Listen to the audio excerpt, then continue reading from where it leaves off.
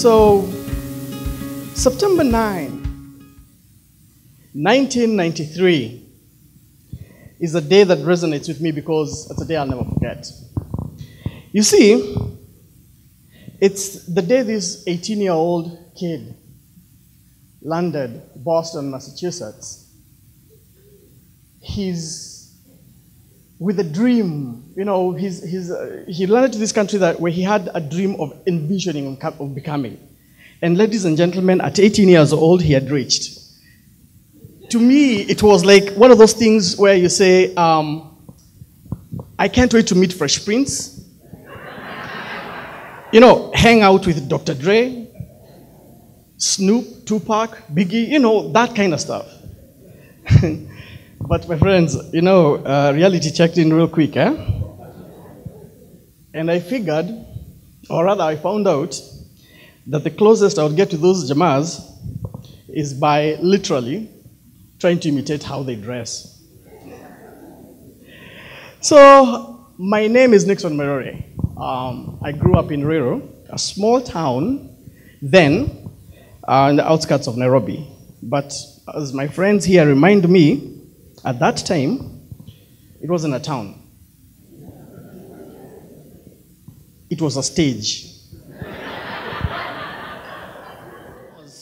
when I get here, my parents were going to fund me for the first one year of school. So, and then after that, like my relatives who had gotten here before me, I was supposed to find a job and then make it work. And about five, six months in, I haven't found a job yet because I'm still good. But then I realized, crap, I'm just removing, I have nothing coming in, so I had to look for a job. So eight months in my stay here, um, I decided uh, you know, things were getting thick now. I mean, like, you know, reality was really hitting. You know, it was no waking up in the morning and getting eggs done. You had to get the eggs, whatever, you know, and all that.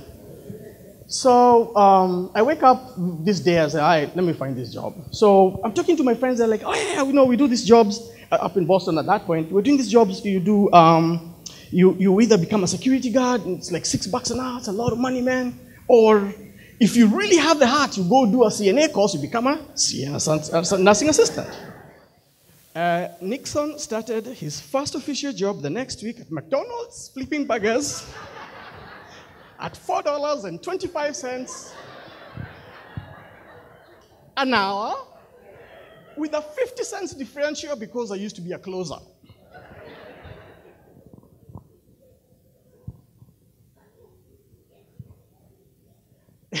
yani, as we like to say, have you ever seen life yani just pinduka? You just flip on you. It's like, yo, this is not what I signed up for. But the reality is here. 435, you have to go to school, you have to pay rent, you have to buy your own eggs, and everything else that came with it. This is from a 19 year old kid who finished high school, stayed home for seven months, and then was put in a plane and shipped to the United States of America. Because one, it was a family pride, and two, for all those who lived in the early 90s, if you got an opportunity to get out, you are told, literally, and I quote my dad, he can tell you this, even my mom says, you go and don't come back. Get everybody else to come and do what? 425, rent, school, and everything else. So at that age, we started building, I started getting anxiety attacks, like, you know, pressure attacks, like, how am I going to make this work? There is all this pressure between home, are you going to school? How are classes? Did you make the dean's list? See, this is a problem of growing up in primary school and high school and being number one, number two. You expected to, you know, it's a carry on, right? So these things now are coming back to bite me. Long story short, I realized pretty quick that that wasn't going to do it. But there was no outlet. We didn't have one. The Form 6 guys, like I'm telling you, used to look at us like kids who don't know what the hell they're doing. And then we were a bunch of us, of these 84 Jamas who just landed state two in Boston, and we're trying to figure ourselves out. So there was a very big drop in a lot of things. School is very expensive in Boston.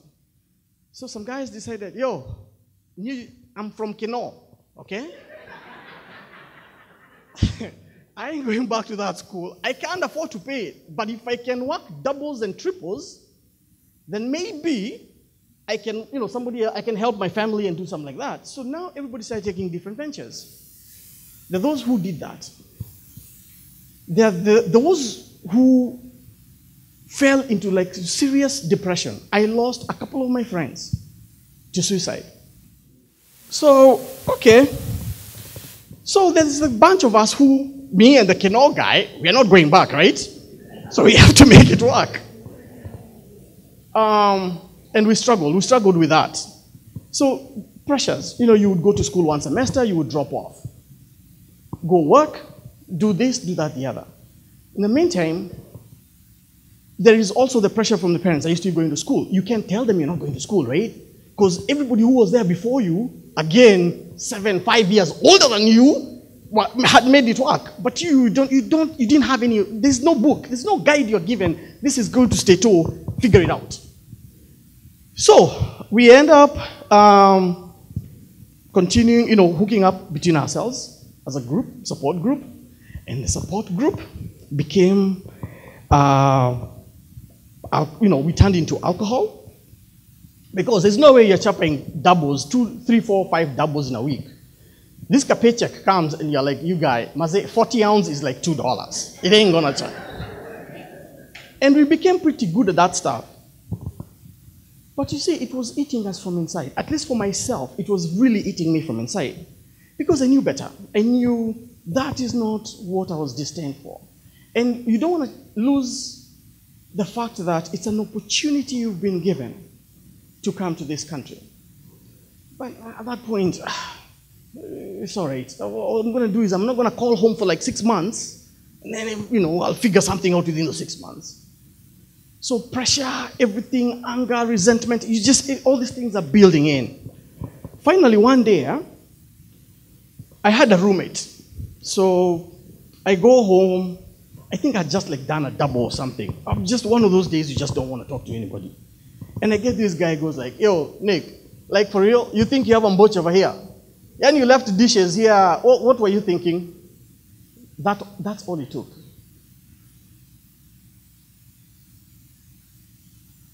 the pressure cooker valve went off.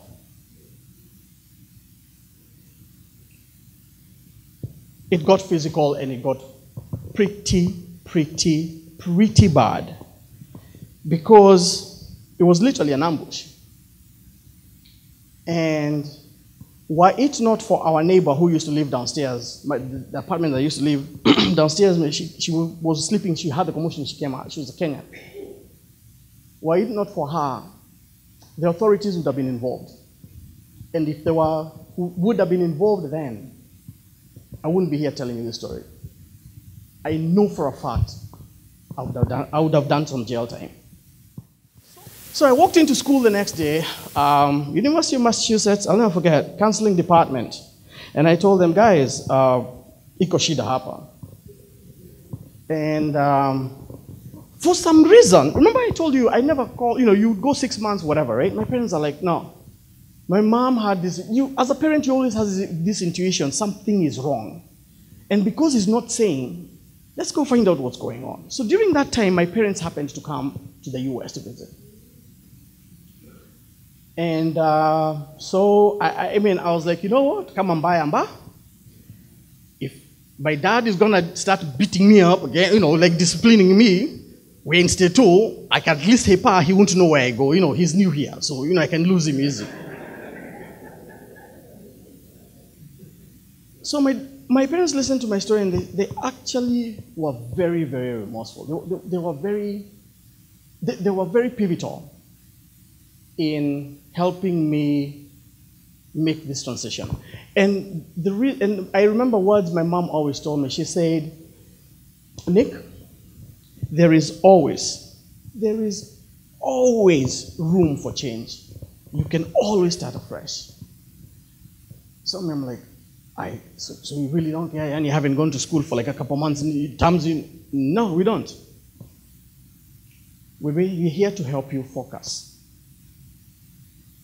Focus, and you'll be okay. It has taken me a long time and courage and vulnerability, you know, to, you know, tell the story. But why am I doing it? You see, in the last two years, in just the US alone, at least of the ones that I have able to keep track, we've had 30 deaths to suicide. And at least half, if not slightly more half than that, are ages between 18 and 25.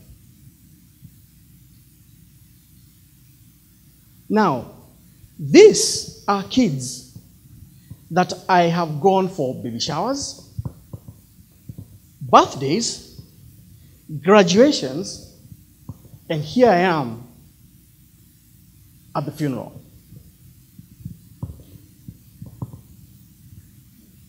Were it not for, I guess, the epiphany moment, if you want to call it that, that made me realize, or even my parents coming in and having that here, or even figuring out that I needed help to do something, I would have been part of that statistic at that age group.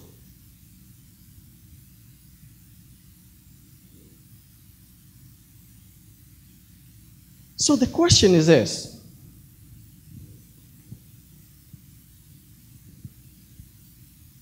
I understand the cultural differences, and I really do. And I understand, you know, the way we grew up. We are having kids here, and we are trying to enforce that that we know to them. By doing that, these kids have pressure of their own. And I'm going somewhere with this. When I started doing that research and trying to figure out what, you know, what was going on, what can we do as a community? In Boston, I, I started working with community groups. And we had these sessions where we sat kids down. Completely no judgment. We would tell the parents to bring the kids and all that stuff. The parents would go, okay. The toys would stay this side, give them flyers, fill in paperwork, and the, the amount of pressure on our children, ladies and gentlemen, is unreal. These kids have identity crisis because, like somebody said, sometimes they are too American for Kenyans, they are too Kenyan for Americans, and they have no identity. You know, I, I have my flaws, so be it. Everybody does. However, I have kids that are approaching that age. And it would break my heart to think that my son or I, you know, or any of the kids that I know now will continue adding into these statistics. I would have been that statistic. I am here to tell the story because somebody believed in me or somebody told me you need help, you need to take care of ABC. So, as a as Nixon Muiruri, I'm here, I'm still finding myself. As a father, though, I come to you not with any solutions, but with questions on one, who are our kids using as an outlet? If you're a parent, who does your child use as, a, as an outlet? And leave alone the child. Let's start with you.